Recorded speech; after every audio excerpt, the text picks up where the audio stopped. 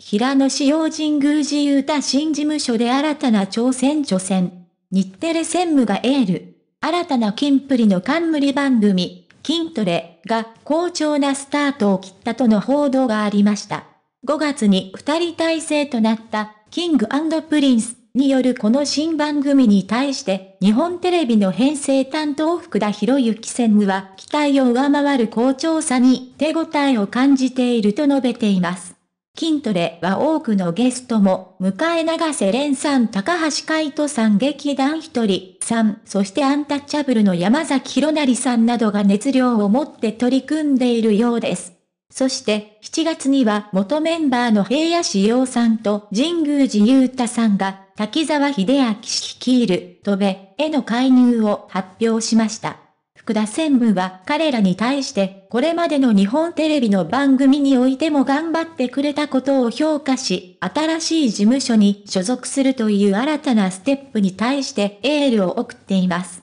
平野さんと神宮寺さんが新たな事務所、 TOBE に加入したことで、今後の彼らの出演についても気になるところでしょう。福田専務は、具体的な番組の出演については、各番組個別の判断になる、と述べ、これからの活躍に期待を寄せていることを伝えています。キングプリンスはこれまで数々の人気番組やドラマに出演しており、特に平野さんと神宮寺さんはその個性的な魅力で多くのファンを魅了してきました。新たな事務所での活動により、ますますその可能性が広がることでしょう。一方で、キントレの成功も見逃せません。これまでにも、キングプリンスはバラエティ番組などに出演し、その楽しいトークやコンビネーションで視聴者を楽しませてきました。新番組、キントレがそれらの要素をより充実させていることが視聴者からの支持につながっているのかもしれません。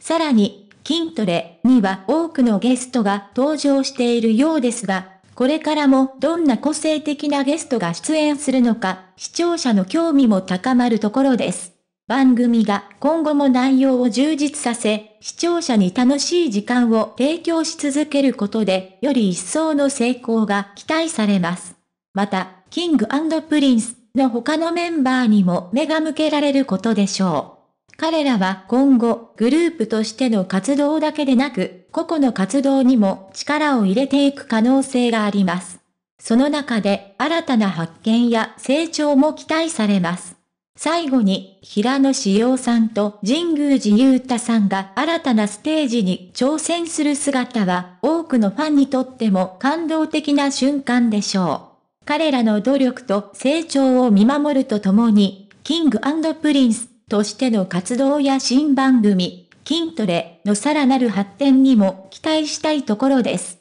筋トレの成功と平野志陽さん神宮寺雄太さんの新たな一歩、様々な展開が楽しみな、筋プリファンにとって充実した時間が続きそうです。大変お世話になりました。最新の情報をスムーズに受け取るために、ぜひチャンネル登録をお願いします。心から感謝しています。ありがとうございました。